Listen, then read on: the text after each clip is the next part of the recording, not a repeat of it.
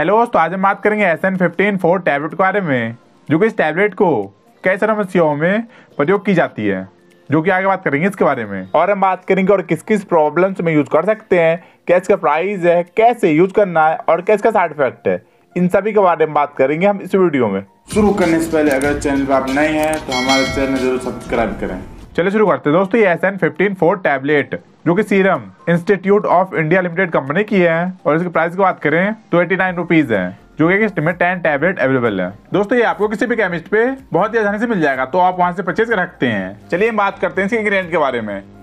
तो यहाँ में एसिक्लोफेनेक पैरासिटामोल एंड सारिटोपेप्टाडेज और इधर देखते हैं एसिक्लोफेनेक सौ एम जी पैरासिटामोल तीन सौ पच्चीस एम जी सारिटोपेप्टाडेज पंद्रह एम दोस्तों, इस दवा को कैसे समस्याओं में प्रयोग की जाती है? चलिए हम बात करते हैं और किन किन प्रॉब्लम्स में यूज़ कर सकते हैं। नंबर वन शरीर में कहीं भी दर्द हो, सूजन हो तो उसमें भी यूज़ कर सकते हैं, जो कि सूजन को भी ठीक करता है टैबलेट नंबर टू बदन में दर्द हो नंबर थ्री घुटने में दर्द हो नंबर फोर दांतों में दर्द हो नंबर फाइव गर्दन में दर्द हो तो उसमें भी यूज़ कर सकते हैं। नंबर सिक्स सर में दर्द हो नंबर सेवन कहीं पर चोट लग जाए और उसमें दर्द हो तो उसमें भी बहुत ही फ़ायदेमंद है। नंबर एट दर्द के साथ साथ अगर आपको बुखार हो तो बुखार में भी यूज़ कर सकते हैं, क्योंकि इसमें पैरासिटामोल डाला गया है। नंबर नाइन कमर में दर्द हो। नंबर टेन हाथ पैरों में दर्द हो। नंबर इलेवन कान में दर्द हो।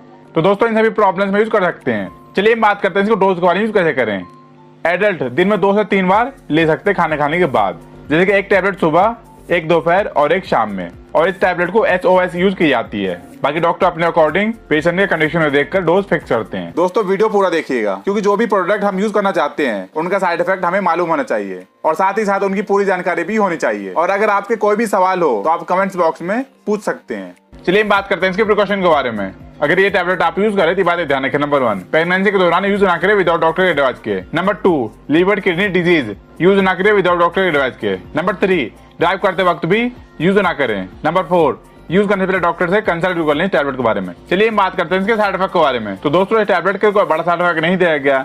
अगर बाय दफ़ा यूज़ करते वक्त इनमें से कुछ भी दिखे, जैसे कि नोजिया वॉमिटिंग स्टोमच पेन तो बिल्कुल भी घबरा ही नहीं। इस टैबलेट को यूज़ करना बंद कर दें और डॉक्टर से कंसल्ट करें। ठीक दोस्तों, ये थी आज का हमारी video S N fifteen four tablet के बारे में, जो कि सबसे बढ़िया पेनिलिफ टैबलेट है और काफ़ी अच्छा रेल दिया गया है। फिर मिलते हैं वीडियो में। वीडियो को लाइक शेयर और हमारे चैनल ज़रूर सब्सक्राइब करें।